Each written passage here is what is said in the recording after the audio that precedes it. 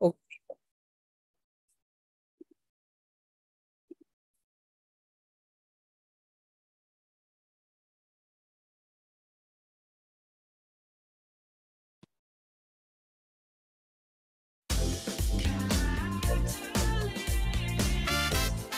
Welcome to Catalyzing Change Week.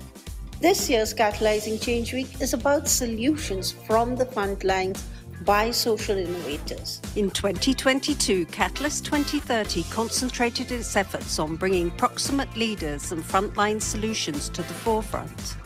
Collaborations led by members from the Global South produced groundbreaking reports on climate and transforming education, with an emphasis on offering local solutions we continued our mission to create an enabling environment for social entrepreneurs to flourish by initiating a letter to donors, signed by more than 1,200 social entrepreneurs and innovators. The Catalyst 2030 awards ceremony was spectacular, and the awards themselves welcomed by the private sector, governments, bio multilaterals, and donors. Catalyst 2030 as a movement is disruptive one of the best things I think that's come out of Catalyst 2030 so far um, is incredible collaboration across the ecosystem that just didn't exist before Catalyst came into being. The thing I love most about Catalyst is that it's an open movement for social entrepreneurs around the world. I'd encourage anyone who's uh, looking to be more connected with their local communities around social development goals to come along to Catalyzing Change Week. Welcome to Catalyzing Change Week.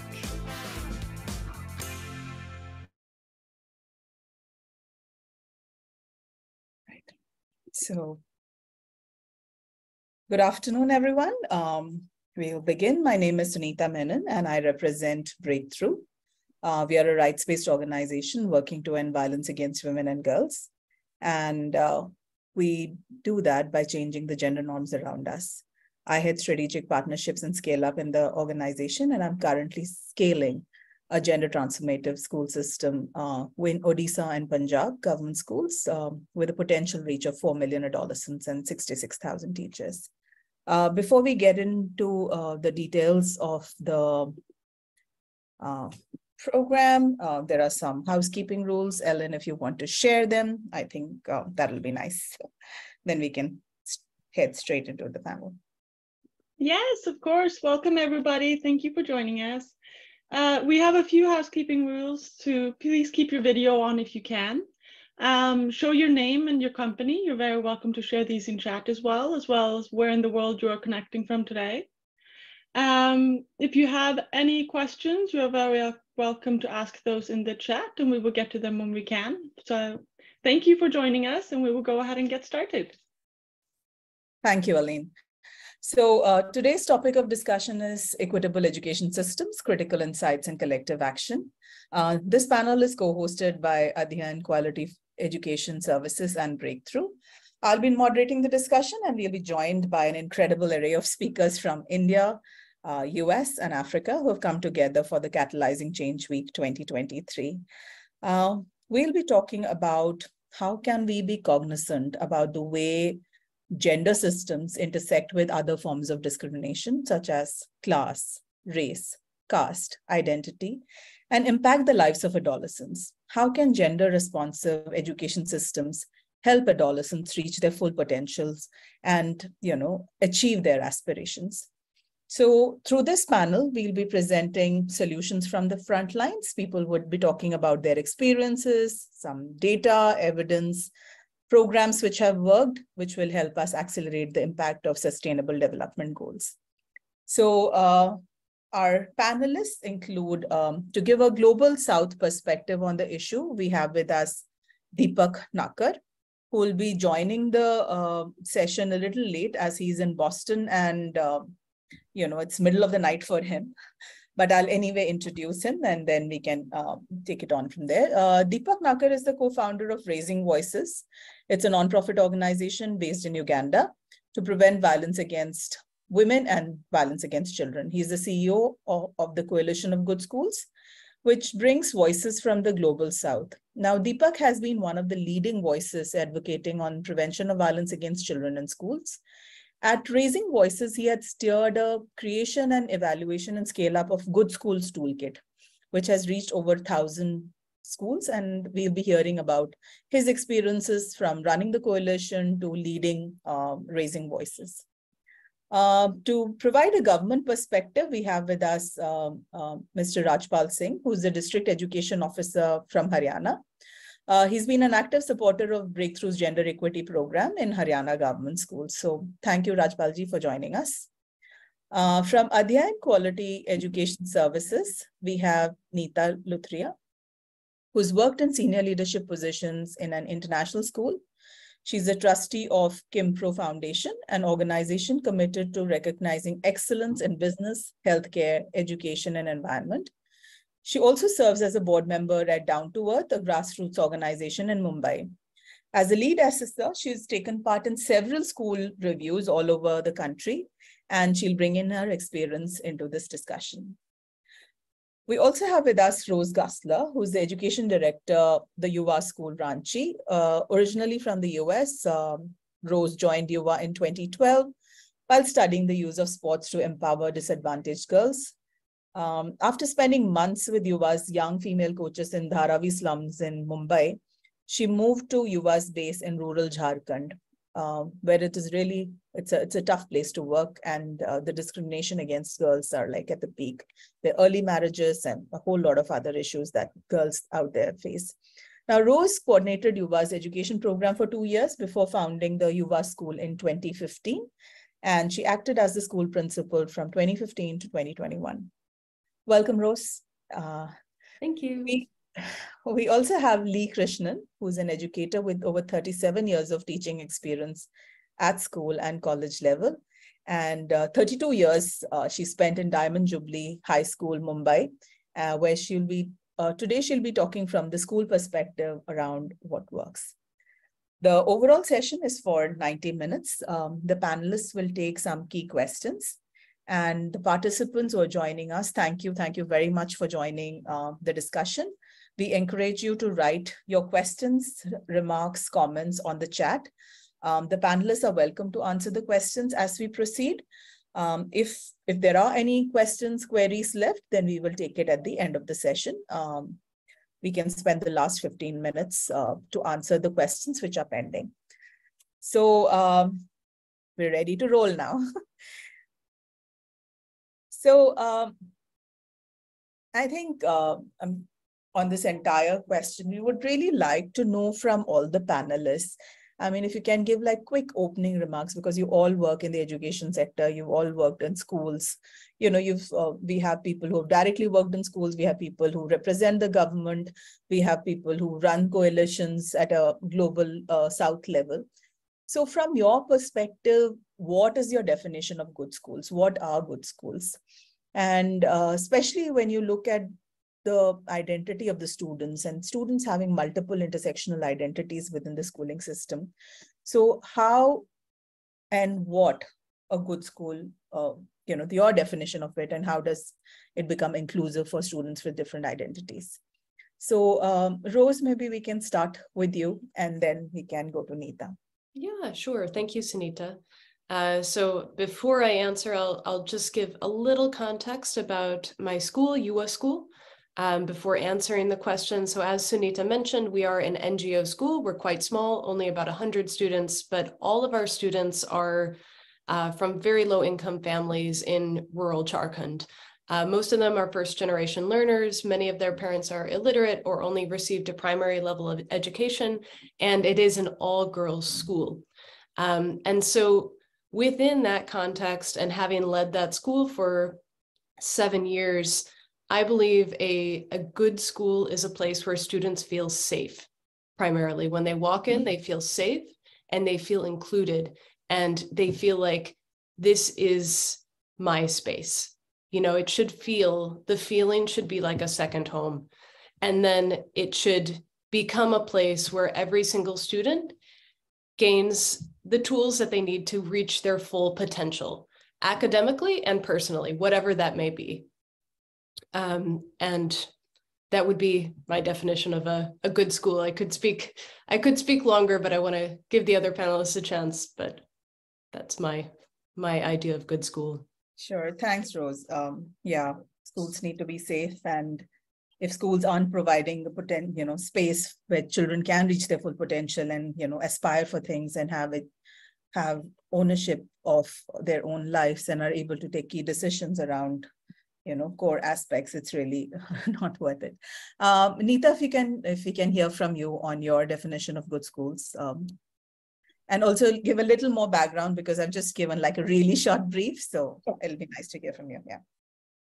So my journey has been from working in a very elite private school to now working with um, government schools across the country, especially uh, a lot of our work is in the Northeast and in states where, um, you know, uh, they are realizing that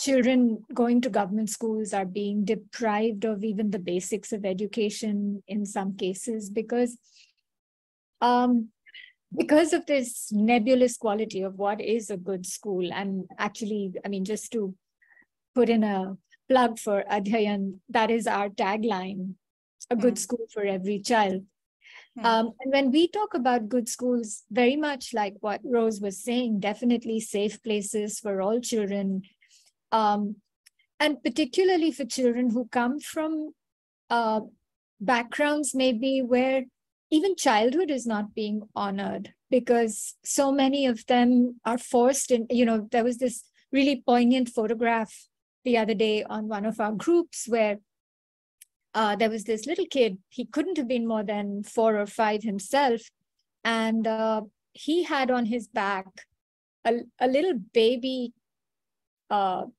sibling uh, and that's how this child attends school. I mean, the responsibility of looking after someone who needs to be looked after to look after another one.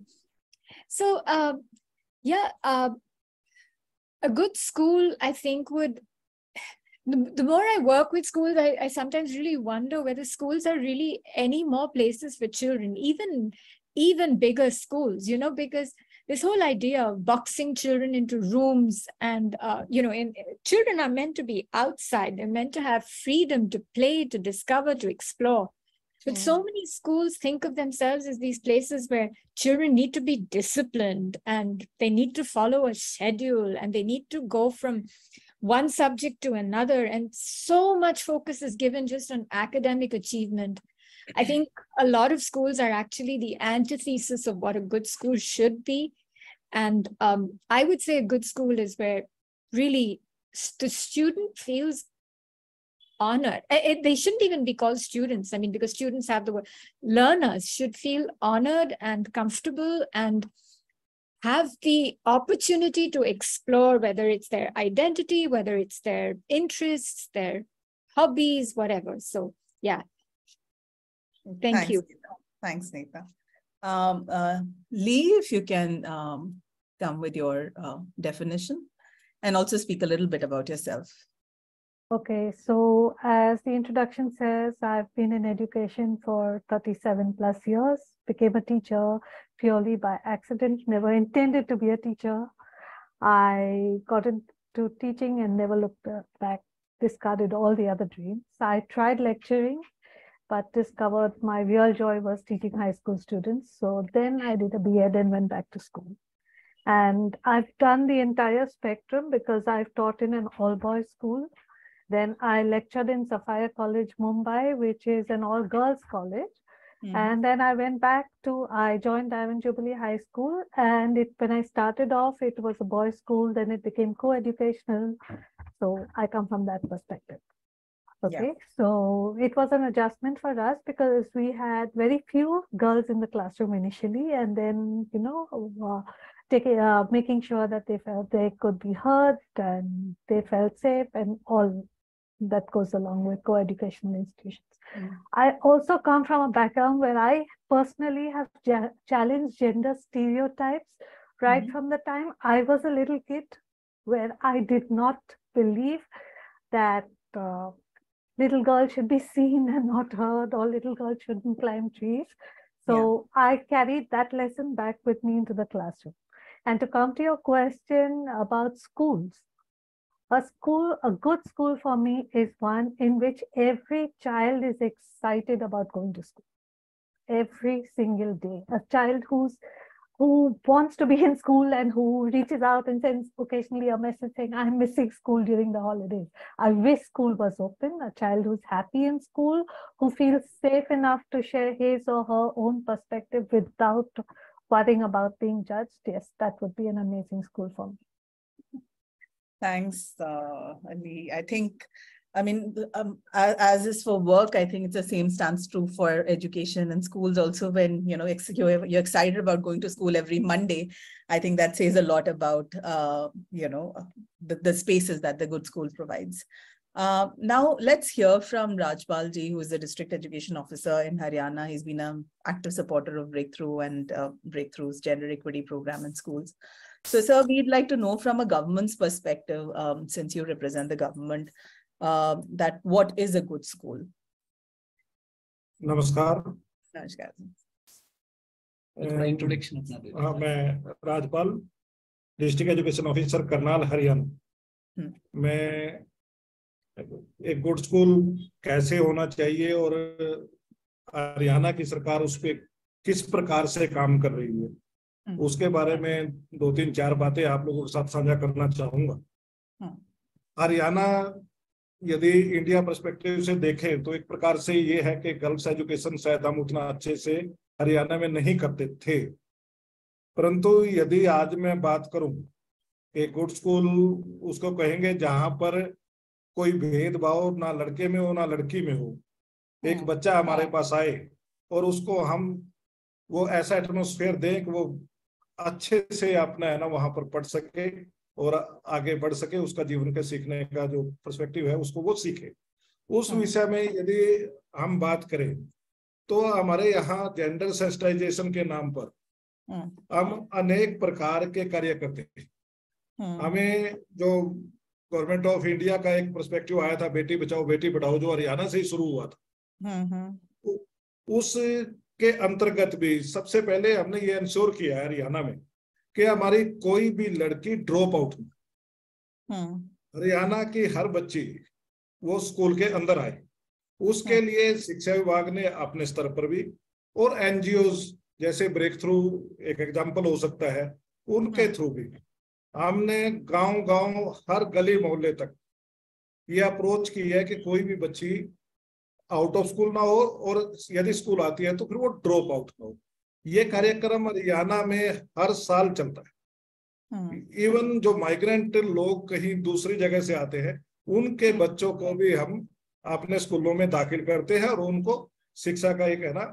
Proper मंच मुहैया कराते हैं चाहे वो है ना किसी भी एज ग्रुप का बच्चा हमारे पास आता है राइट right, सर हम आपके इनिशिएटिव्स के बारे में और बात करेंगे क्योंकि कई सारे सवाल हैं तो अलग अलग स्तर पर ये निकल कर आएँगे। मैं जल्दी से ट्रांसलेट कर लेती हूँ क्योंकि कई सारे हमारे इंटरनेशनल ऑडियंस हैं जिन्हें शायद हिंदी ना समझ में आए। तो just to give you a quick translation of what mister Rajpal ji who represents Haryana education department has मैं that Haryana one of the Indian states had you know, extremely skewed sex ratio. There was a lot of widespread discrimination. It's a tough state to work. But despite that, uh, the government has taken a lot of initiative in ensuring um, that there is the schools provide a space where there is no discrimination, uh, where an enabling environment is created where every child can uh, reach their full potential. Uh, the government has initiated a lot of gender sensitization activities as part of Beti Bachao, Beti Padhao, which is a policy initiated by the central government. And they have uh, focused on two aspects, which is increasing enrollment in schools, making sure that there's no child um, who is deprived of education. And once the child is in the education system, then at least um, uh, there is no dropout.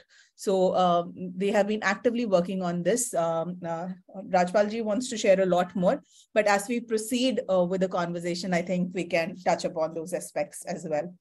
Um, uh, I mean, we all know, I mean, you, you've already touched upon the intersection of gender and ed education.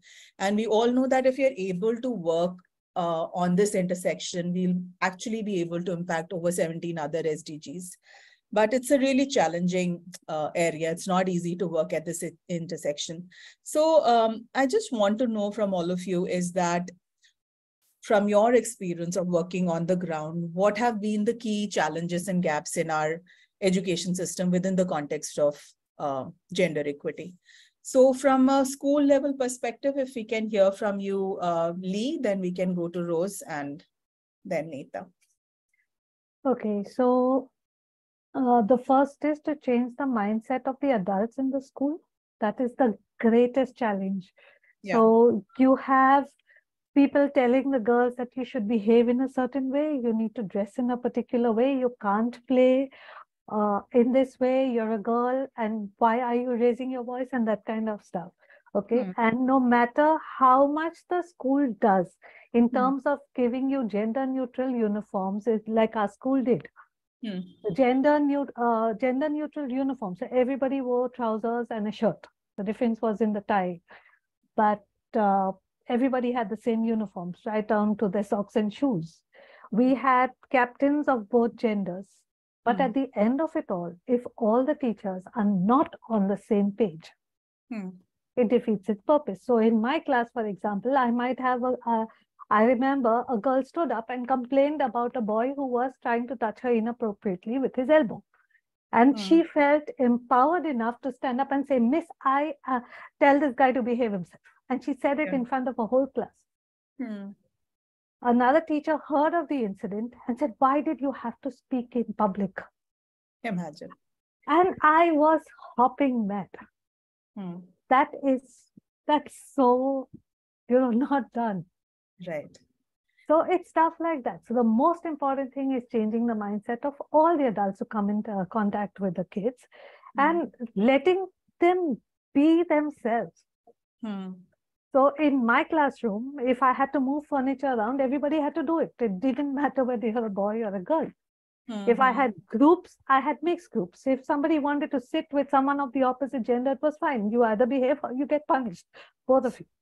Yeah. If you misbehave. My boys were very happy because the punishment for the same crime was administered to both genders. Yeah. So they would be, uh, they would tell me, you know, Miss Lee, you're the only one who punishes the girls as well. Nobody else punishes them. And the girls, surprisingly, I initially thought that, you know, nobody else was giving them those uh, punishments of staying back after school, completing work, just as we did with the boys. But the girls were happy to be treated on the same platform, uh, you know, on the same level as the guys. It's like, this is what we want. So if they hmm. were playing ops and bats during the break, Mm-hmm. If it was a girl whacking a boy, it was fine because that was the game and they play, you know, ops and bats, right? Everybody's played it. Yeah. Oh, and uh, I stopped a girl once and said, Why did you? Uh, I stopped a guy once, one of the boys, and said, Why did you hit that girl? And he mm. said, We're playing ops and bats. And I was like, Okay. And she was fine with it. She's like, I'm going to hit him harder. But this kind of stuff where they actually get treated like equals yeah starts from the way we adults who come in contact with them every day and that's the greatest challenge that i face yeah, absolutely. I think it's a very critical issue that you've raised there because a lot of programs are designed for adolescents and young people. And you know, you empower adolescents to speak up, to take action, to and if the adults are not ready, if the teachers are not ready, if the parents are not ready, there's there can be a backlash like that girl faced when she spoke up. Um, and also, I think you spoke about how, you know, there's no discrimination between boys and girls. They're treated equally. They're given equal opportunities in terms of games, activities, punishment. And I just remembered one interesting um, study which was done uh, even in our area of intervention, where in UP it was found that even the levels of pun punishment is varied for boys and girls. So uh, while boys receive a very, you know, hardcore physical corporal punishment, uh, girls face a lot more, um, you know, uh, verbal abuse as well as sexual violence. So um, that's a trend, and there's there are lots of studies which have uh, validated the same. Um, taking on from there, if you can go uh, with Rose, so if you can hear from you. Yeah, absolutely. So you might have seen me. Uh... Deepak is here. Okay. Sorry, sorry, Rose. Oh, no problem. No problem. Wonderful. Welcome, Deepak. Thank you for taking time out in the middle of the night. really, it's, okay. it really means a lot about your commitment to the SDG goals and Catalyst 2030. Thank you. Thank you so much. I've already done your introduction, so we'll just um, uh, proceed uh, with, uh, we were talking about the challenges uh, within the education system uh, around gender-based issues. So mm. yeah, over to you, Rose. Yeah, sure. Hi, Deepak. Uh, so you may have seen me nodding my head vigorously when Lee was speaking. I was, those were almost verbatim the same notes that I had written down in response to this question that the biggest challenge in our context, but I think it's it's pretty common, is the adult mindset. Uh, our, our program, our school actually began as a girls football program in rural Jharkhand, and the level of interest from the girls right from the beginning was incredible. Even though in this area, football is considered a boys' sport, the very first day girls were invited to come to the field, more than 100 showed up and uh, and it's just been the theme you know for for years throughout our organization there is so much hunger there is so much enthusiasm on the part of the girls to try new things to do something different even though they've been raised uh, basically as servants within their own families. They're they're taught from a very young age that their role within the family is to serve others. Their role is to prepare for a future role as a wife and a mother. And uh, we've seen that in order for our students to truly succeed as they move forward in their education, we have to work with their parents, we have to work with their families. And in this area, um, which is which is a village, parents believe that a girl's education is a waste of money. If you're going to invest money in it, it's basically like you know throwing it into the trash because they don't think that it's possible that their daughter could go on to a university, could have a career because they haven't seen examples of that. They they think that if I spend money on my son's education, that's going to come back to our family. That's an investment in our family. Our daughter is going to leave our home. We'll have to pay money for her dowry, and then she is going to be a wife and a mother somewhere else, and and there's no benefit to her education. So in order to correct that, in order to have the the parents especially see the potential in their daughter and to imagine a different future it takes a lot of time. There's not an easy fix to it uh, it's a lot of relationship building it's not just uh, you know the the family night at school a couple times a year it really has to come through building relationships with the parents going to homes uh, taking time to have discussions and really listening listening to what what are their concerns, what are their expectations for their daughters, um, and listen listening before speaking. Um, and for for us to achieve this gender equality, for us to get the girls past 12th standard, this is key. It has to happen. You know, changing the adult mindset, getting them onto the same page um, is the biggest challenge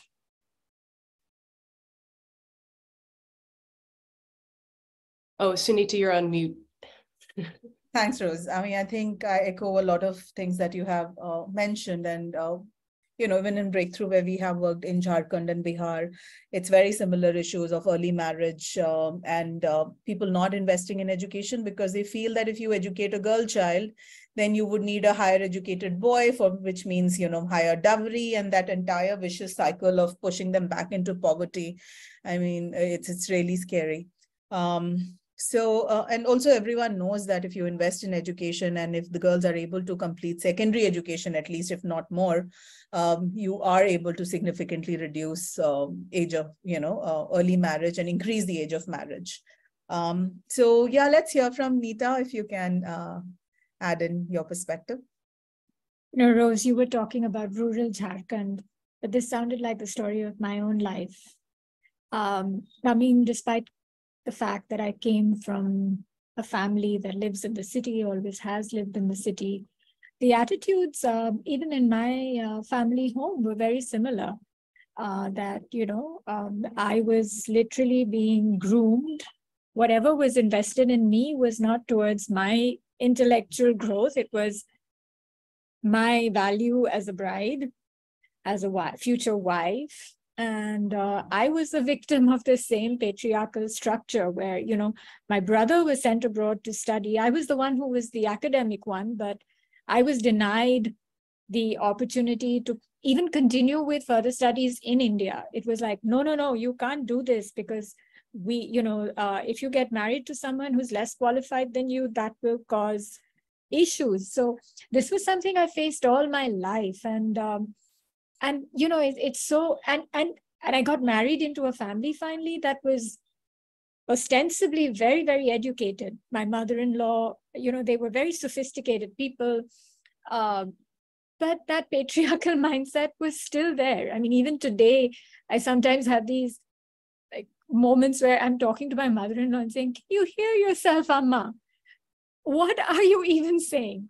But um, you know, you've all spoken greatly about the uh, mindset of the adults, and that is reflected so often even in the texts that we use in school.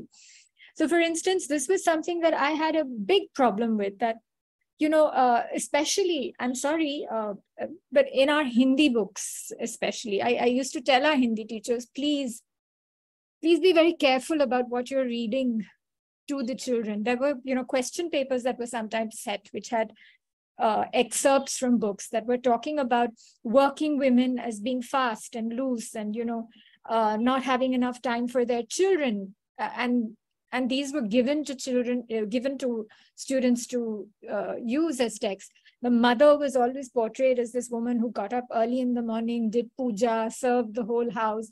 So this was just reinforcing things. So um, I think that's also a big challenge that, you know, are we really looking at what we are feeding our kids? There are so many subliminal messages that are going to children that tell them that, you know, girls are different and they they need to be treated differently and yes of course in some ways we are different yes i accept that that maybe but but why is it always being portrayed as something that you know because you're different inferior and and girls is one thing now the uh, you know now the conversations have to grow beyond just girls and boys we have to talk about all kinds of people and identities. So I'm going to let the others talk because I know that I don't want to hog the space. Thanks, Neeta. I mean, uh, I think it takes a lot of courage to share from a personal experience. Uh, so thank you for doing that. Um, and and it, it also kind of brought forth the point very strongly that education does not necessarily mean empowerment. And therefore, what is the role of education? Is it just, you know, knowing your maths, English, science, Hindi, or is it also beyond that? Is it really empowering people, young people to take agency of their lives? Um, so uh, Deepak, I'd like to hear from you uh, because you know you worked with Raising Voices, you've led that organization, you've worked with over a thousand schools. Um, are the challenges similar in Uganda and other places that you have worked, or is it different? No, in, in some ways, I think that listening to Neeta and even Rose, it's depressing to see that patriarchy lives everywhere uh, and, and it manifests in many of the similar ways. So many of the girls uh, are the secondary consideration in a family when they're making decisions around who gets to go to school.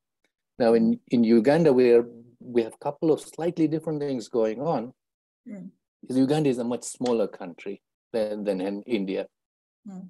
And so the policies like universal education, uh, uh, have in some ways hit the ground where significant proportion of girls have had access to schools uh, for what tends to happen though is that the expectations from girls are much much higher in terms of they will mm-hmm. contribute labor at work and that if the family is in, in difficult circumstances the girl is the first person to be pulled out of school and then right. even when in school there are a whole lot of systems that are in some ways discriminating against the girl from being able to learn and benefit from the systems at school. So, so in a way, what I wanted to talk about is what Rose and what Neeta are talking about as well. That how do we start conversations with parents? Yeah, that more, a lot of the time, parents are not bad people.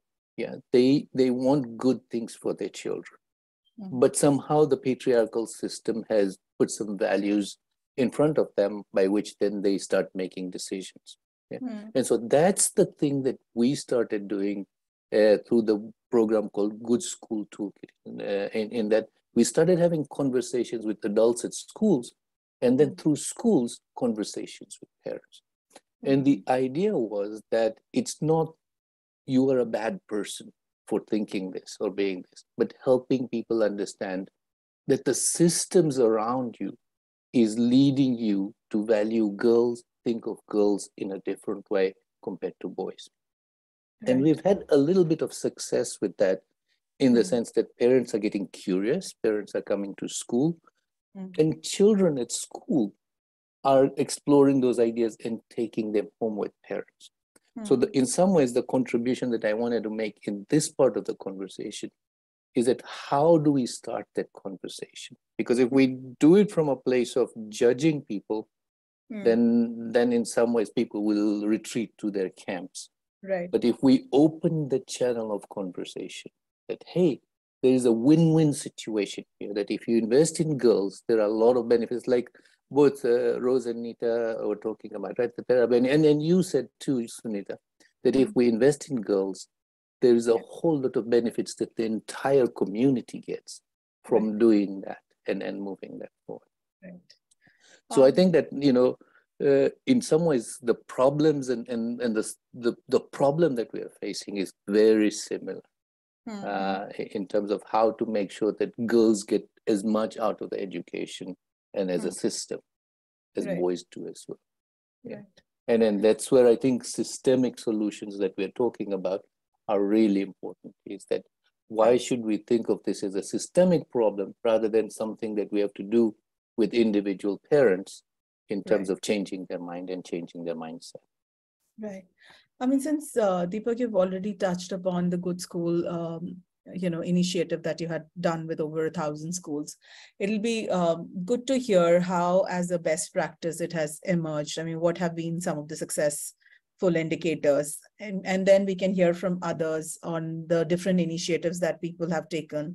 And we can see from like three different lenses. So one can be from a school school level lens. I mean yuwa has been doing um, you know um, um, and then we can look uh, from a global lens which you you can bring in deepak. And from the government lens we can hear from rajpalji. So uh, if you can just brief a little more on the good schools thing and then we can go to rose. So the problem that we started engaging schools with, our, our, our intention at Raising Voices is to prevent violence against women and children. And we wanted to prevent violence against children at schools. And essentially in Uganda, that uh, the bigger problem is adult to child violence rather than child to child. Child to child violence is still there, peer violence, bullying, that is still there and it's significant but adult to child violence is significant as well. And that's the problem we were addressing ourselves with that how to prevent corporal punishment. Mm-hmm. And when we started working, what we saw most people were doing uh, were doing targeted interventions at schools towards teachers. So, mm-hmm. training teachers, building teachers' capacity, or mm-hmm. building capacity of students to resist violence. Mm. And for about 10, 12, 15 years, we, we were seeing that even if the law was in place, the violence was continuing unmitigated, meaning that it just there was no dent in in in, in the prevalence levels. Right. We asked ourselves the fundamental question that what needs to change? What how do we need to approach this problem differently? And that's when we formulated the idea that the system of the school needs to change, that this problem lives in the system and mm. individuals are just perpetuated in the system rather than it living in individuals and we have to address it so okay. we started off with what are teachers being taught at teachers training colleges? What hmm. policies are being put in place? What hmm. in-service support is there for teachers? How hmm. the school formulating the objective of school? How is the school op offering opportunities to children to participate in day-to-day running of school? How are yeah. children perceiving the role of school in their life? How are children experiencing school on a day-to-day -day basis? How much power do children have how many opportunities do children have to contribute their ideas? What happens in the classroom when they have a question? Are they allowed to be formulating their ideas? Is creativity something that is encouraged or not? Those are the kinds of outcomes we started looking at rather than the incidence of corporal punishment from teacher yeah. to student. And we developed a six-step system intervention, which is starting from ask, helping school ask what they wanted to do and who will be the actors and then helping mm. them lead entire school with participation of teachers and students, creating a different kind of school. And that's what we call a good school toolkit. And that's what's being used in 1,000 schools in Uganda, and it's actually spreading further and further. Right. And it has been evaluated through a randomized trial, and it has traveled to other places as well. Right. I'll stop there. I must say that Breakthrough has been inspired by the Good School initiative as well, and we've taken a lot of learnings from you. So thank you, Deepak, for uh, bringing that initiative. And I think it's a holistic system. Uh, and um, uh, um, our, our uh, folks here, I mean, and you've seen from like an individual incident school level to how do you kind of make it a systemic issue at, at you know, in large scale and how do you kind of take on the principles uh, from there and make sure that it can be done at a structural level and at an institutional level, at a community level, and how do you bring it all together? So it's a very interesting um, model. Uh, I'd just like to hear from a policy perspective, uh, uh Rajpalji, because uh, you come from a government uh, lens. Um, so when we're seeing कि uh, for the education system को किस तरीके से हम systems level change के कैसे लेकर आए तो अगर आप उसके बारे में थोड़ा बताएँगे that will be useful so basically talking about how do you make a systems level change in the education system from a gender and education intersection जहाँ तक इस सिस्टम में चेंज लेके आने का प्रश्न है, मेरा अपना जो सोच है, उसमें अभी हरियाणा में हमने चाइल्ड सेफ़ गार्डिंग कमेटीज बनाई हैं। उन बच्चों के लिए और उनमें काउंसलर्स भी काफ़ी नंबर ऑफ़ स्कूल्स में हमने अपॉइंट कर दिए। जो बच्चों को भी और एक इसी के उसमें एक बालिका मंच नाम से हमने एक कमेटी का उसको नाम दिया है। जो एवरी सैटरडे अपने स्टूडेंट्स के साथ, वो चाहे गर्ल है या चाइल्ड है, परंतु अलग अलग करते हैं अभी। उनकी समस्याओं को जानते हैं और उनका फिर समाधान करते हैं। ये एक बहुत बड़ा एक प्रकार से गुड स्कूलिंग की ओर हमारा एक प्रयास है। ए, साथ ही जो बच्चों को या गर्ल्स को स्कूल में आने के लिए जो दिक्कत होती है कि फार जो स्कूल से दूर के जगह है जहाँ पर सेकेंडरी एजुकेशन के लिए या सीनियर सेकेंडरी लेवल के एजुकेशन के लिए लड़कियों को स्पेशली आना पड़ता था उनके लिए ट्रांसपोर्टेशन का प्रोविज़न जो है, ये हरियाणा सरकार ने किया है। और मेरा ये मानना है कि ये एक बड़ा ही अच्छा कदम है कि जो बच्ची हमारी ड्रॉप आउट होती थी या पेरेंट्स को कहीं पर एप्रीहेंशन होता था कि भाई है ना, मेरी बच्ची रास्ते में सेफ़ नहीं है तो उसके लिए स्टेट ने ट्रांसपोर्टेशन हर गर्ल स्टूडेंट्स को प्रोवाइड कराया है। उसके लिए फाइनेंस किया जाता है, पैसा दिया जाता है बच्चे को। और फोर फाइव सिक्स का एक ग्रुप बनता है जो एक टैक्सी हायर करते हैं डेली वो स्कूल आते हैं और स्कूल से वापस घर पे जाते हैं। जहाँ तक कुछ अलग समस्याएँ होती हैं गर्ल्स की तो हमने हर स्कूल में हर बच्चे को पूरा ईयर के लिए सैनिटरी नेपकिन हम प्रोवाइड करा रहे हरियाणा गवर्नमेंट इंसिनेटर्स अलग से वहाँ लगाए हैं कि वो है ना आफ्टर यूज़ यदि कहीं वो करना है तो हर स्कूलों के अंदर हमने प्रोवाइड करा दिया है। तो इस प्रकार से यदि हम बात करें के टॉयलेट्स वगैरह की जो एक प्रकार से गवर्नमेंट स्कूल के लिए बड़ा इश्यू होता था। हरियाणा का एक भी स्कूल ऐसा नहीं है। और मेरे जिला करनाल में मैं सात सौ अस्सी स्कूल देखता हूँ गवर्नमेंट के हाँ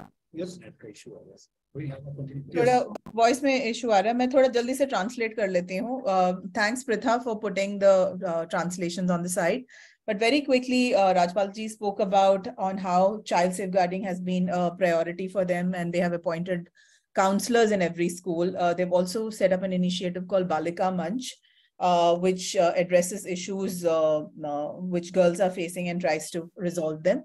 Uh, mobility is a big challenge in Haryana, and especially around safety and security of girls when they go uh, back and forth from home to school. And for that, Haryana government has made an initiative where um, they kind of ensure that people can take taxis in groups to their schools, and this is compensated by the Haryana government. Uh, and this has actually uh, helped in um, uh, reducing dropouts and ensuring safety and security of girls. So these are initiatives that they have done. Also around menstrual hygiene, um, they have ensured that sanitary napkins are available for uh, girls and there are incinerators um, available in in schools so for safe disposal of the sanitary pads. These are great initiatives. Um, thank you, Rajpalji. I think uh, government. Sunita ji हाँ सुनीता जी मैं एक बात और कहना चाहूँगा कि state government ने Haryana state ने एक इनिशिएटिव लिया है कि पहले हमारे यहाँ गर्ल्स स्कूल अलग होते थे और बॉय स्कूल्स अलग होते थे हाँ. अब हमने ये डिसाइड किया है गवर्नमेंट ऑफ़ हरियाणा ने कि हम हाँ. सेपरेट गर्ल्स स्कूल नहीं करेंगे जो भी नया स्कूल बनेगा वो सबको स्कूल ही होंगे ये भी इनिशिएटिव एक मेरा मानना है कि बहुत अच्छा इनिशिएटिव बहुत बढ़िया so so, uh, uh, as part of the policy initiative, Haryana government has decided that they'll no longer create girls only, boys only um, schools, but all new schools uh, which will be inaugurated will be co-ed schools where girls and boys get to uh, interact with each other in a healthy uh, and positive way.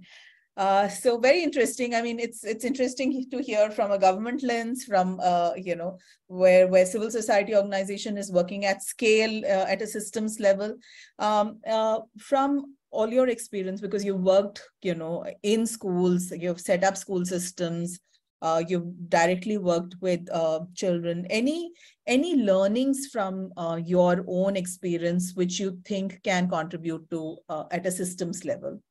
Um, Neeta may I take this? Yes please. So um, one of the things that I I feel that at a systems level, we really need to uh, educate everyone around children is the language that is used because language is so so powerful mm. and um, you know just the kind of messages that we are sending out to children when uh, for instance uh, just the other day i was at a school where you know children were playing and immediately when it was the girls who were doing something that were that mm. looked slightly risky or or you know uh, da- dangerous in the children's context like there was so mm. much attention no no no no don't do that you'll you'll get hurt whereas if a boy was doing the same thing no one really uh, hmm. bothered you know it was like boys will scrape knees and uh, break bones but girls shouldn't so hmm. just that kind of language you know just making it normal for everybody to similar to what lee was saying you know making it normal for everybody to do to scrape knees and uh, break bones. Um, also even you know the moment uh, like at school i remember when girls used to come dressed up for their birthdays uh, very often the teachers would say oh you're looking so pretty. You know just this that this is your role to look pretty. And and no one would compliment the boys when they were dressed as much. You know it, it was all these things that i think i think we really need to be very conscious of the messages we're sending out. And one of the ways that we did that at our school was using stories as a very powerful medium. Mm. um, we would read all kinds of stories. We would pick up stories that were where where girls were the heroes and you know things like that. But when there were stories that put women in these very stereotypical roles we would have discussions about this that hey do you think this is okay do you think that this is only the job of women or shouldn't shouldn't the boys be helping out as well like why is this story do you hmm. want the world to be this way and yeah. um, I was at that time at uh, you know in primary school, and we would we would talk about this right from a very early age that you need to we need to question what we are being fed. We would yeah. rewrite uh, fairy tales and change the endings for the princesses, and you know say, but why should the princess have to marry the prince at the end of every story? Why can't the princess maybe start a business of uh, her own and lead an independent life. Yeah. Why is Sleeping Beauty waiting for a prince to come and rescue her? Why can't she do something herself? So we would we would question all these things, and I think these led to a lot of uh, very interesting discussions. And kids would really uh, even go home and talk about these things and uh, yeah. that that was one way and from the uh, you know when sir uh, was talking uh, rajpalji was talking i was also thinking that in the government school system there's such an opportunity to have these kind of discussions and forums with you know there are these smcs that are meant to be part of every government school. Right. Maybe having discussions with them around these topics and actually uh, bringing up these points that you know what is the language that you're using at home? Is it shouldn't we all agree that we should use similar language and not make girls feel different uh, yeah. or inferior in these ways? So right. Thanks neeta um, i think uh, uh, we really need to change the gender norms around it it's not just enough to kind of you know do some one policy, one law you bring out, it really may not make a difference unless and until you really address the gender norms around the whole uh, aspect. And right from the curriculum on how it is written, the images that are shown and the thing, the text which is there, to teachers' own mindsets, because they're also coming from the same environment as you know everyone else is, and they also have received the same messages. And just being educated does not lead to that empowered lens. I think so. One really needs to start from there, and I think bringing this critical analysis um, piece in where people where, where you've done it with students, where you know children can analyze fairy tales, starting from there and rewrite. So I mean, how do you bring that lens where students are and young people and learners are able to identify uh, that across. I think that will be an interesting thing. Um, Rose, if we can hear from you, any experience from your uh, level on what yeah. you would, if given an opportunity, what is the recommendation that you would give for uh, yeah. scaling for systems Absolutely. so listening to Neeta talk, I, I think uh, another very important factor in terms of of achieving gender equality and empowering our girls is making sure that we invest in female leadership and invest in, in our girls' leadership development so that the youngest girls have female role models. That's mm. so important. Um, you know, just an example from our organization, we have uh, we have a football program that works very closely with our school, and we have more than 30 young female coaches who then lead more than 600 girls. Mm. And almost all of the coaches are enrolled in our school as well, and they're able to take the lessons that they learn in school you know not just academic lessons but but life lesson life skill lesson you know the confidence that they gain the uh, the ambition that they gain their their future goals. They're able to take all of that and then share it with these younger girls. And that is so powerful for these young girls to look up and think well look at what my Didi's doing you know if my Didi is just like me you know her home is just like mine and look what she's doing. You know she's studying she's in 11th standard she's traveling she's coaching a boys game you know what's supposed to be a boys game. That is so powerful because then that little girl can imagine herself doing it. And then uh, to take that one step further it's also critical to go back to the uh, the discussion about the adult mindset to raise up those role models and show show the parents examples concrete examples of what can happen when you invest in your daughter's education. So at our school we've only had four graduating classes but we've seen incredible success. We have graduates at at ashoka university Krea university you know other other renowned universities in India, and we even have one at Harvard. And so what we've done is uh, made posters of the graduates, their photos from childhood to you know young adulthood, highlighted their stories, and we printed them and put them up around the school.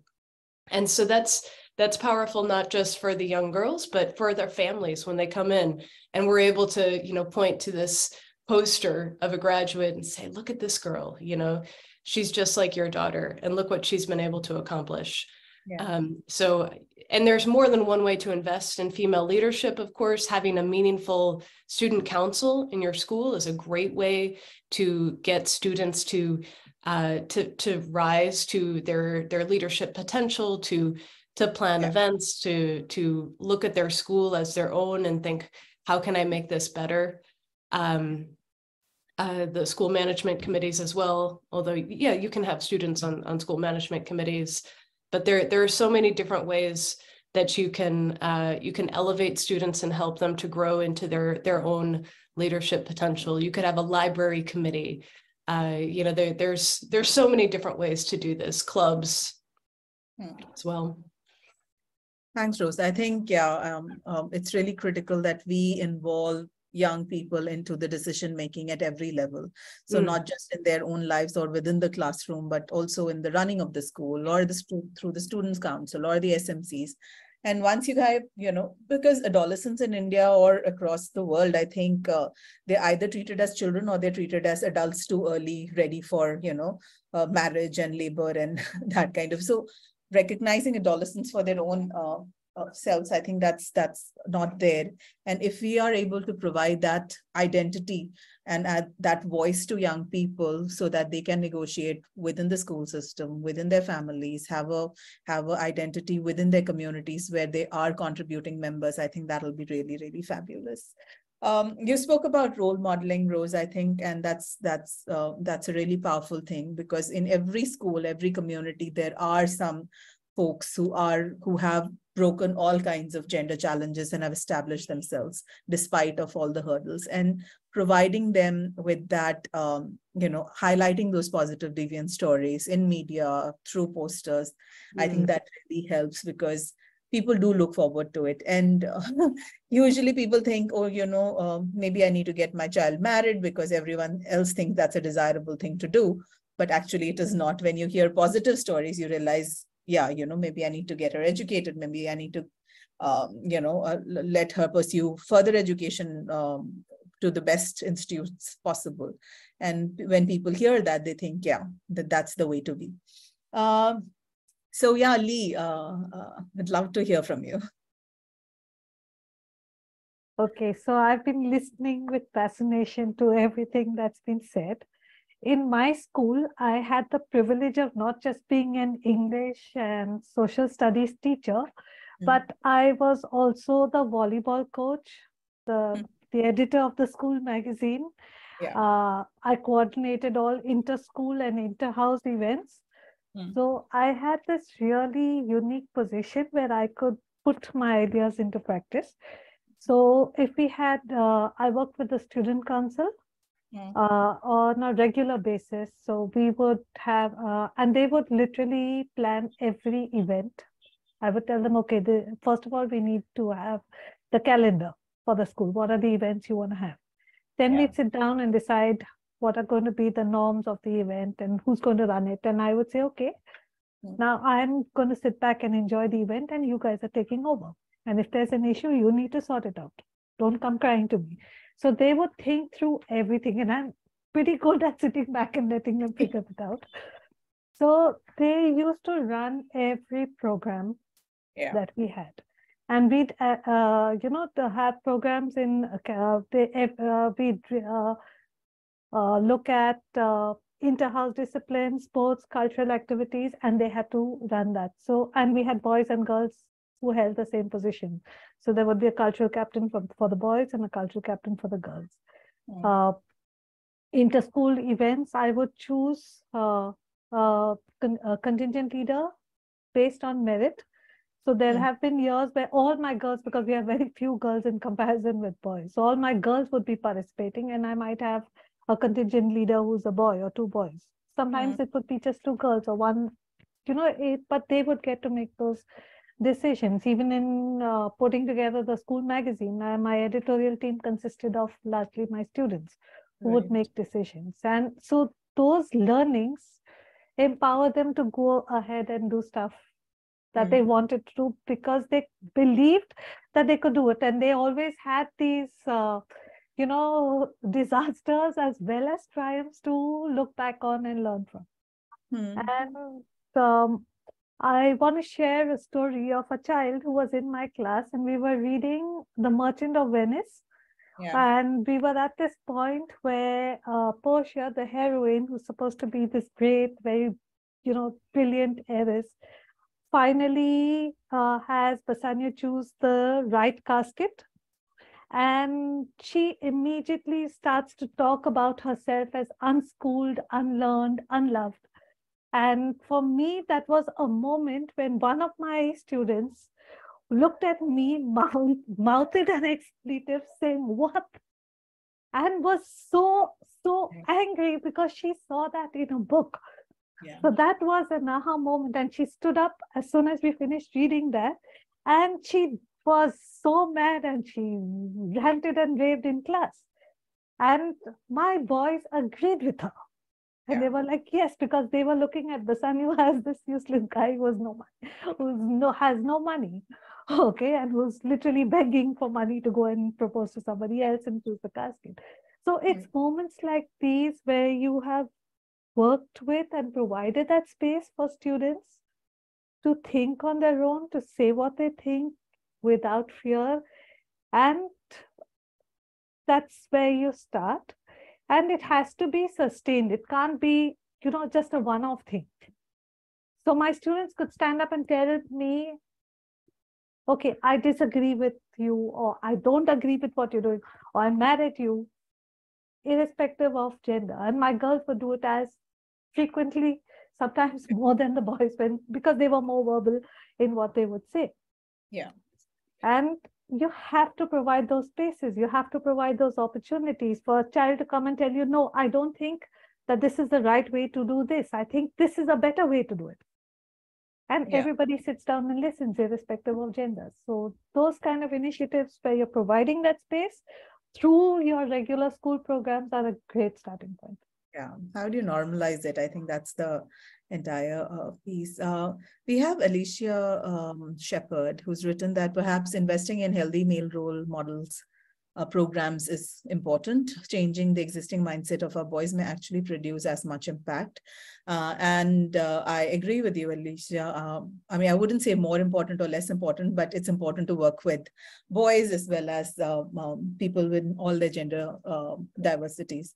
Uh, and uh, from our experience, um, we uh, Breakthrough runs this gender equity program in schools in Haryana. We had tried and tested a, um, you know, Tarun Ki Toli program, uh, which ran in 150 schools with some 18,000 students.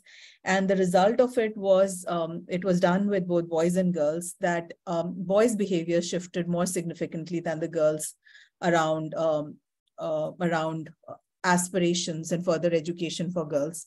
Uh, and it was interesting because uh, there was a lot more social constraints for girls. So when boys also undergo the same uh, curriculum, they're able to kind of assert themselves because the society gives them that power. So, um, uh, so that was a very interesting study which JPAL had done on our um, work. It also kind of brought out huge amount of uh, impact in terms of attitudes and behaviors of young girls and uh, boys around um, paid employment in higher education, not just right after the program, but five years down the line also, and now eight years down the line also, there's still a 16% positive shift um, on the program impact. Uh, so much so that we're thinking of tracking the same set of students who had been through the program for two years, um, you know, in the next four years to see, you know, once they've grown up, and uh, they're you know taking decisions around career marriage reproductive choices does the gender equity program, a two-year program, have a lifelong kind of uh, impact? So um, yeah, uh, so it's really critical uh, on making it more inclusive. Gender equity is not only for girls, it's for everyone and everyone gets affected by it. Um, we are also working with Odisha government and it was it was very, very uh, positive that Odisha government said that we don't want to look at a program in binaries. We want it to be inclusive and we need to look at, you know, at the entire uh, gamut of identities. And that is really, really positive coming from a state government. So there we are. Things are changing slowly but steadily. It takes time. We've been at it for decades, but I guess it's, it's heartening to see some of the changes which happen.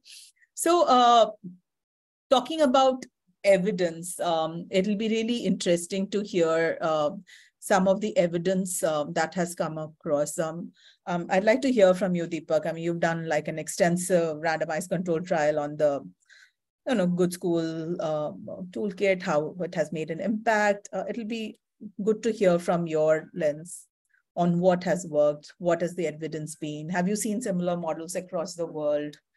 Yeah.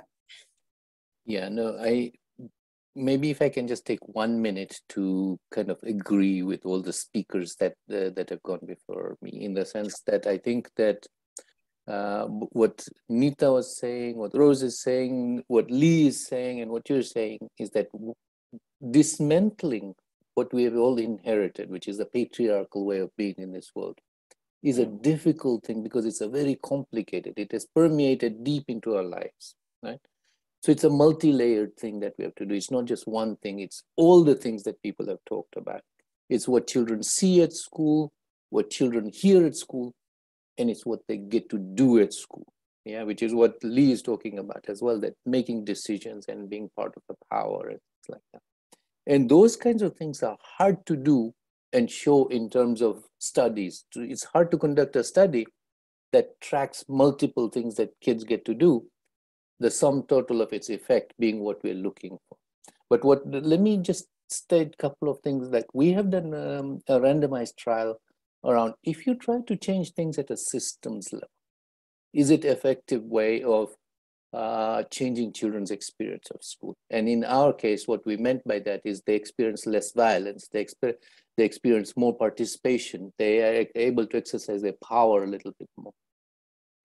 What we found uh, based on the intervention that we decided, is that if you change the systems of schools, you can reduce the violence against children by 42% from adult to children, yeah, in the space of just 18 months, which in some sense is long, but on the other hand, given the how long we've had patriarchy around for, it's not that long. So it's doable.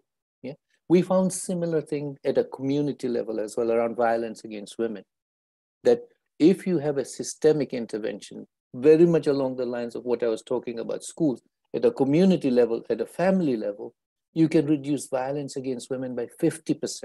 Yeah. And the uh, central idea there being that we are changing the way the community perceives and thinks about women and children rather than putting all the emphasis and responsibility of bringing about the change on women and on girls, right? Because that is a hard thing to do. We've been trying that for a long period of time. We need to change the container rather than people who are in the container. But having said that, uh, you know, girls, for example, mm, uh, there's a lot of evidence that investing in a girl has pays huge dividends. Yeah, from each extra year that a girl stays in school, there's substantial gain in the family's income over a lifetime of a girl each extra year that a girl stays in school, there is implications for how her children will do, how her health will uh, will, uh, will unfold as she grows uh, into into middle age and things like that. There's huge consequences for mental health of girls and and and, and of the entire family around each uh, each extra year a girl, a girl stays in school there's huge implications around her own mental health and then her family's mental health. So in some ways, the evidence is so overwhelming for this thing, yeah, that it's a no-brainer in terms of what, we need to do. And so what I would say is that, you know, uh, at least what I have been focusing on is that there's a lot of evidence. And so we have produced a lot of evidence. Now we need to focus a little bit on how do we do it? Yeah uh, how do we go about it? And, and, all the ideas that people were talking about, from what Rose was saying and, and what Lee was saying, yeah, uh, are really important that we identify tactics, we identify interventions that contribute to this enterprise of dismantling the experience that is so patriarchal in schools. Those are some of the things that I would put to the group in terms of focusing. Oh, thanks, Deepak. I mean, you're right. I mean, there is overwhelming evidence around why it is important for girls to, uh, you know, complete education, be a part of the education system, and what are the long-term gains. I think it will bring us much, much closer to all the SDG goals uh, if, uh, you know, we address the intersection of gender and education, and if girls are able to complete their education. And I think you also highlighted on how it is important to work at multiple levels and not just, you know, with the girls and the students or learners per se, but you know from from a schooling system to you know engaging families and communities to engaging the larger government system so really looking at it from a socio-ecological model and saying you know you need to work at every level from the student, family, institution, policy, you know, larger uh, societal level. And, and it's only when you do that and you kind of travel that entire curve that we are able to do it. And of course, I mean, it's it's not possible for any organization to do it at an individual level. And that's where partnerships come on how do you kind of learn from each other and uh, you know carry your best practices forward and be a part of the coalition um, um, deepak you also lead a coalition so it'll be interesting to hear on the ideas of you know how you're bringing these kind of things into the coalition space so the coalition that i am uh, working with is called coalition for good schools and it was founded by leaders from uh, the people who are running organizations in the global south around influencing children's experience of school. So they are from all over the place, so from Philippines to India to Africa, or um, several countries in Africa to Latin America. And the unifying idea there is that how can we share experiences? How can we build each other's capacity? How can we enhance each other's voice in mm. terms of influencing how children experience schools? Mm-hmm. And so our intention is to bring as many voices from global south as possible to the table because mm-hmm. majority of children live in the global south. Yeah. And therefore people who are doing things like Lee and Neeta and Rose and others in the global south have something really profound to contribute to what kind of policies we develop at a global level, what kind of interventions we line up behind, what kind of evidence do we demand from researchers that we need that on the table to be able to do this work. But the central idea being that we need to come together and amplify our voices collectively mm. on a day-to-day experience. A lot of the time policies made elsewhere where resources are coming from. And what yeah. we're saying is that the experience on the ground matters. Yeah, mm. because that's when we are most likely to find efficient pathways to solutions. True, true. Thanks so much, uh, Deepak, for sharing it. And uh, I mean, all the people listening would highly encourage you to kind of visit the website of Coalition of Good Schools and see if you know you yourselves or your organizations would want to be a part of this coalition because that's where you know these kind of discussions that we're doing right now mean, how how we're able to kind of do it at a larger level and bring our voices out in the open and make sure that there's enough evidence and policy around it. So you're welcome to, um, I'll, Deepak, if you can quickly put the website on the chat, I think people can access it uh, easily. Um, uh, Rajpalji, I think, uh, dropped off. But in the meantime, it'll be good to hear if there are any questions, any comments um, that people would want to ask um, from the panelists, if, if there are any comments that you would want to make we can spend a, you know, we can spend some time. Thanks, Tisha. Um, uh, any questions people can raise? Sir is available. Uh, okay, acha, I couldn't see him, so. huh. So, um, um, um, uh, Rajpal ji, it'll be good to hear from a uh, systems lens क्योंकि uh, आपके पास भी ऐसे कई लोग आते हैं जो अलग अलग प्रोग्राम्स लेकर आते हैं एजुकेशन को लेके जेंडर को लेके बट सिस्टम्स लेवल पे ऐसी क्या चीज़ें हैं जो हमें ध्यान रखनी चाहिए which can work at scale तो अगर उसके बारे में थोड़ा बताएँगे that will be useful Sunita ji मेरा मानना है कि प्रॉब्लम सॉल्विंग अप्रोच के साथ यदि हम चलेंगे तो हम जितना भी प्रॉब्लम्स आ रही है। उनको हम सबको टैकल कर सकते हैं और उनका सोल्यूशन हम दे पाते हैं हाँ, हाँ. तो हमें अपने पॉजिटिव सोच के साथ के जो भी बच्चा पैदा हुआ है वो हम्म। उसको एक ऐसा एटमोसफेयर हम प्रोवाइड करा पाए जिससे हम्म। उसकी जो स्कूली एजुकेशन है उसमें किसी प्रकार का भेदभाव ना हो उसके लिए हमें प्रयासरत रहना चाहिए और अपना माइंड बिल्कुल क्लियर रखना चाहिए। तो यदि प्रॉब्लम सॉल्विंग अप्रोच के साथ काम करेंगे पॉजिटिव माइंडसेट के साथ काम करेंगे तो निश्चित तौर पे हम बिल्कुल अच्छे से अपना काम कर सकते हैं। अवेयरनेस ऑफ़ पेरेंट्स एक बहुत बड़ा चैलेंज है हमारे लिए। हम्म। उस पे ब्रेक थ्रू हमारे साथ काम कर रहा है। विलेज हम्म। लेवल पे हमने कमेटीज फॉर्मुलेट करी है ब्रेक थ्रू के माध्यम से। एस एम को और स्ट्रेंथन करने का। स्टेट इनिशिएटिव से अलग भी एस एम के लिए ब्रेक थ्रू की जो टीम है वो एस एम को अवेयर कर रही है कि एजुकेशन कितनी ज़रूरी है और एजुकेशन के जो पैरामीटर्स है उसमें एनहांस करने में या वो बच्चों तक वो सारा अच्छा मिल सके तो कैसे S M C role play कर सकती है? हाँ। ये बड़ा ही इम्पोर्टेंट एस्पेक्ट है। मेरा तो ये मानना है कि ये यहीं तक ठीक है। Thank you Thanks, Rajpal ji.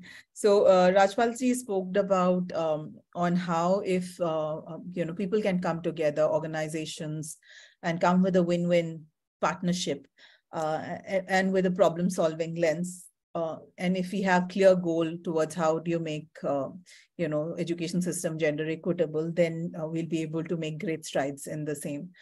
he spoke about um, how they have collaborated with Breakthrough and have not just sensitized um, students around gender equity uh, program, but also created awareness for parents. They have formulated village committees um, and made sure that the communities are actively participating towards better uh, education and better intersection around gender and education. In fact, there was a uh, example from way before. Uh, I mean, people were talking about, uh, he was talking about how Haryana government had made uh, a policy around co-ed schools.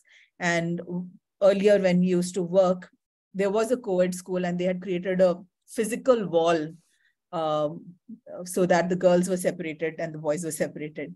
And it was after a long uh, initiative with the school, with the students, with the community members through the village committees, uh, with the panchayat officials that the wall actually came down after they realized that it is okay for boys and girls to kind of study together, learn from each other.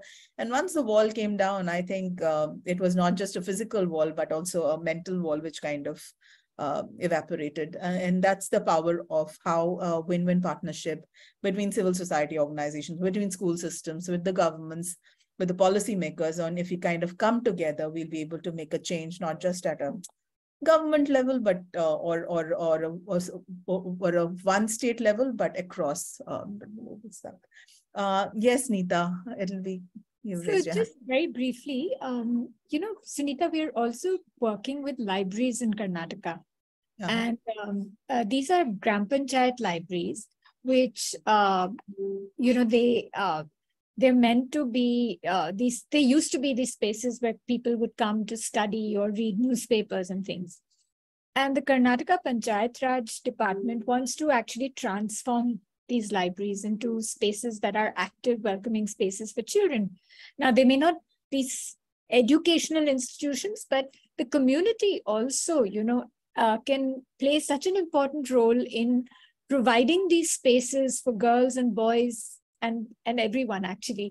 Uh, equity for everyone where people can come they, they don't feel pressured because there's nothing to prove here. They can and you know in these libraries apart from reading books the librarians through the program are organizing activities games. They're making these libraries really fun places for kids. And i was just thinking that apart from the schools and the home there's so many other uh, you know things in the community that can work towards this goal. One can activate the entire community in this manner. You spoke about reading spaces and you know developing this interest in uh, reading and i think that's very powerful. Also when i was hearing rose and lee uh, when you were talking about volleyball and football uh, you know just using sports for breaking all those gender boundaries how has that worked for you? It'll be really interesting to hear that aspect as well? Uh, well, for for Yuwa, we've found that that having these teams of girls, uh, they they almost always ask if they can have their practice every single day, and we usually limit it to five days a week. But what we've seen is that when they come together so often and play and work as a team, there there can be so much so much to be gained in that setting in terms of confidence, in terms of establishing a supportive community, and in terms of uh, creating a system of accountability, actually. You know, when they're for many of them going home and not being actively supported in their education but if they're coming and having fun with their their teammates and their their positive coach every single day and and and just getting this reinforcement that we're all working towards something together. We're having fun here and then we're also going to school. Like it is uh, it's very powerful. And that's why we've we've taken so much time to invest in in an active football program, an active sports program, because there is so much to be gained. There's also just the visibility of girls playing, and we have boys as well. I should mention, uh, we do have about 10% boys who play in our program. Uh, we don't exclude them. We just say if a new boy wants to join, he has to bring four new girls. And that's because we are, you know, focused on girls' empowerment as an organization. We don't want to exclude boys, but if we just said, everyone's welcome to come, you know, without any restrictions, it would become a boys program. That's just the reality. And so uh, we've just seen that there is uh, there are so many benefits to uh, to using sports as a platform. It's not, you know, it's a tool. It's not like a magic something that's magic and is going to automatically be good. You know, it takes time, just like it takes time to make a school good uh, you have to to work to make a sports team or a sports program good and safe.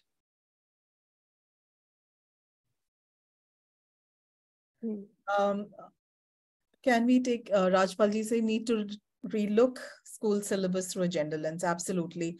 In fact, um, uh, Breakthrough has been receiving um, you know requests from a whole lot of state governments, from Haryana, from Punjab, uh, from Odisha, on how we can you know, because it, curriculum is such a gendered space on how do we kind of relook at the education system, relook at the curriculum from a gender lens and see where the problems are and kind of, um, you know, give recommendations for uh, rewrite not just fairy tales, but also textbooks in that sense. So yeah, thanks, uh, sir, for uh, pointing that out. Uh, uh, do we have any questions, um, comments uh, for the panelists? Does anyone want to ask anything? Uh, Pritha, have I missed any uh, questions earlier? No, no Sunita. I no, okay. okay, okay. So uh, in that case, maybe we can take some um, closing remarks from everyone, like any last thoughts, any recommendations that you would want to make to, um, um, you know, organizations, government, um, you know, other civil society players on, on this aspect. Um, we'll start with you, um, Lee. I would say let kids be themselves, let them grow up together, let yeah. them fight, sort things out themselves. Sports is critically important.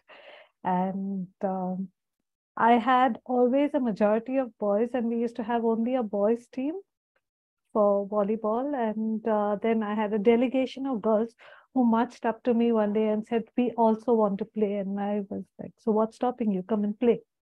And then I would make it a rule that when they were practicing, they would, they, uh, depending on how many girls were there, they were uh, they would get to choose their teams, and the captains would change every day to give everybody a chance to be captain. But they had to include girls, and they had to have so many girls. And then the boys got really quick at identifying which girls could play well and when my girls were captains, they would choose the players that they wanted. But uh, it is very important to have parental support as well because as I started, I said the mindset of teachers and other uh, adults is important. There would be teachers who would tell student, uh, parents that you know your girl, your daughter's wasting time in sports. Tell her to study. Tell her that she shouldn't be playing with the boys and that kind of nonsense. But my girls did well in the end. My boys did too. I've had very few girls, but I've had two girls represent the state. And uh, so it's all it's the work you do on the ground. And if you can get by get consensus on the ground with the adults dealing with all these children, whether it's sports or in the classroom or in writing programs, I think that is where you're going to make a difference. And before I close, uh, I work with another organization where I run writing workshops. And uh, there was talk about including families So we, uh, in you know, whatever changes we want to bring and getting families and communities involved. So we have this unique uh, uh, program which is called Family Literacy Night, where we pick a theme and have families coming together to write together and sharing on stuff that they, uh, you know, that's important to everybody. And that's one way of bringing change even within your family. So we just did one for teachers and students in Haiti, which is undergoing a lot of political turmoil. And we had uh, we had a family literacy night with about 50 students, teachers, educators from different parts of the world. But that's also a way of getting, you know, uh, community involved and trying to get mindsets to change so that thanks thanks lee. I think uh, it's a very powerful medium of promoting intergenerational dialogue because um, like in india at least there are no uh, though you say you know dining room conversations there's no dining room and there are no conversations happening between parents and children at all. So providing this kind of space, um, structured space where people can talk about, uh, you know, these issues, I think that can be a really powerful way. Um, uh, Neeta, uh, do you want to add some parting comments? We have four minutes. Yeah, yeah, just very briefly, I think um, one of the important things that we need to do as educators, as people responsible for children, is to encourage questioning, you know, the questioning of everything and giving them that opportunity to say that you do not have to accept just because it has always happened in a particular way. Just creating that space and giving them that opportunity. Sure. Thanks, Neeta Uh, Rose? Uh, sure.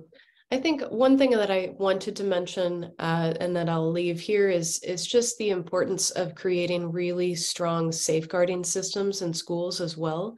That's essential. That has to be a you know foundational to uh, to everything we've been talking about. So you know making sure that that's a top priority uh, for for you as a school or even as a system if you're working on that level making mm-hmm. sure that there's very specific codes of conduct um, and that all the stakeholders, including the students, are aware of them.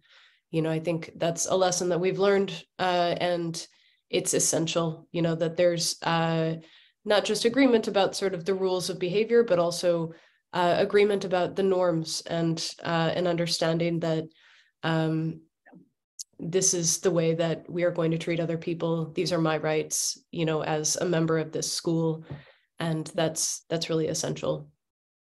Right. Thanks rose. Uh, deepak? I, I would like to say two things. First is that this girls not accessing education or dropping out of education or just not getting the opportunities they need to grow mm-hmm. uh, we need to make that everyone's problem rather than just girls or the family's problem right? And what that essentially that translates to is that we should make it a systemic problem rather than individual level problem. And then the second part of it is that we we are dismantling years and uh, hundreds of years of experience in terms of how girls should be valued and how girls should be how women should be seen in, in our society we're dismantling patriarchy and dismantling patriarchy is very important in terms of ideas, experience, what you see, what you get to do. What we also have to be able to do in that process is not only just dismantle something, but remental something different, meaning that we have to build capacity of girls and others to be in a different way with each other. What he's talking about, what Neeta was talking about, questioning everything, is contribution to this. That that was then we are now in a very different way of being with each other. How can we build different kinds of relationships with each other? We have to role model those. We have to bring practical ideas. We have to bring practical opportunities for students and children to experience that. Those are the two things I would like to leave with the group. Uh, thanks, thanks everyone. I think um, yeah, clearly, if we want to work on the intersection of gender and education, we need to work at multi multiple levels. I mean, right from, you know, we really need to change the narrative, the existing narrative, which is there around this issue. And we need to work at a policy level, at a norm change level, at a systems level, structure level, and of course, people, whether it is students, teachers, school leaders, or parents, and or or you know, policymakers, and bringing them all together and creating this, you know, increasing our manifold voices together and changing that narrative becomes really critical. Um, so um, thank you, thank you so much. I think this has been an incredible discussion and we've had some clear pathways to what works on gender transformative education system, on how do we need to kind of break barriers that, you know, gender transformation does not mean only working with girls, we need to make it bigger. The question and comments um, you know, which we discussed, I think uh, was was fa fantastic. I do hope that you know many years down the line, when we reflect back in 2030, we are able to see how our collective impactful work, whether it is through government, the coalition space, through individual organization space, on how we have contributed to the achievement of SDG 4 and 5 and we are able to eliminate this gender disparities and ensure equal access to education. So we are in it together and we're going to change the world in short. so thank you. Thank you so much. Namaskar. Namaskar, everyone. Thank you.